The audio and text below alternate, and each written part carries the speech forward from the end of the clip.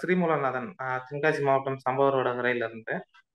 இப்போ வந்துட்டு சவுதி அரேபியால வேலை பார்த்துட்டு இருக்கிறேன். இப்போ வந்துட்டு ஏஎல்பி பத்தி சொல்லணும்னா வந்துட்டு பாத்தீங்கன்னா எனக்கு ஒரு வருஷத்துக்கு முன்னாடி ஒரு ஸ்ட்ரேஞ்சர் மூலமா அறிமுகம் ஆனுச்சு. பட் அந்த டைத்துல என்னால ஃபுல் அண்ட் ஃபுல்ல என்ன சொல்றது? அதை பத்தி தேடுதல் இல்லாம அப்படியே விட்டாச்சு. அப்புறம் இந்த இயர் ஒரு டூ மந்த்ஸ்க்கு பேக் வந்துட்டு பார்த்தீங்கன்னா, ராஜேஷ்குமார் சாரோட யூடியூப் வீடியோல பாத்துக்கிட்டு இருக்கும்போது, திரும்பவும் ஏஎல்பி சம்பந்தமா வந்துட்டு அறிமுகம் கிடைச்சிது சரி அப்புறம் இந்த தடவை மிஸ் பண்ண வேண்டாம்னு சொல்லிட்டு, டக்குன்னு உடனே ஜாயின் பண்ணியாச்சு இந்த மாசம் கிளாஸ்ல. ஜாயின் பண்ணிட்டு இப்போ வந்துட்டு நல்லபடியா கத்துக்கிட்டு இருக்கேன்.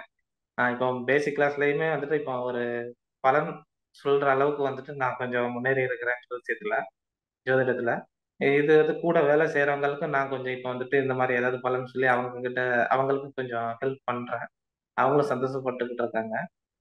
அதே மாதிரி பாத்தீங்கன்னா இப்போ மூர்த்தி சார் வந்துட்டு உண்மையிலேயே என்ன சொல்றது? இந்த மானுட உலகத்திற்கு கிடைத்த ஒரு வரம்னு தான் சொல்லணும் இப்போதைக்கு. உண்மையிலேயே வந்துட்டு great. Sir sir is great. And அனைத்து குருமார்களுக்கும், மெண்டர்ஸ்க்கும் மென்டர்ஸ்க்கும் எனது மனமார்ந்த வணக்கங்களை, நன்றிகளை தெரிவித்துக் கொள்கிறேன். இப்ப சாஃப்ட்வேர் பத்தி சொல்றதா இருந்துச்சுன்னா, சாஃப்ட்வேரும் வந்துட்டு உண்மையிலேயே வந்துட்டு ரொம்ப யூசர் யூசர் ஃப்ரெண்ட்லியா தான் இருக்குது. நிறைய விஷயங்கள் கத்துக்க முடிஞ்சது.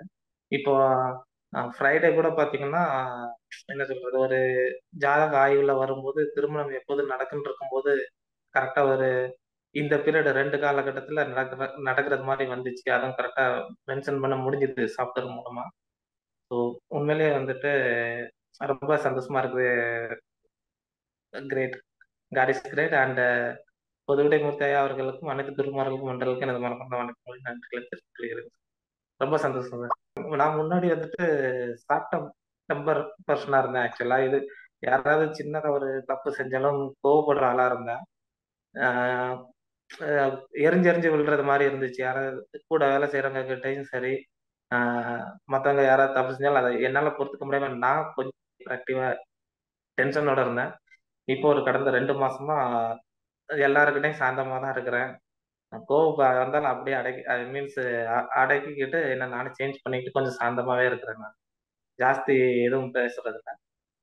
என் எனக்குள்ள அந்த அதுதான் சார் மாச்சம் நெறைய இது.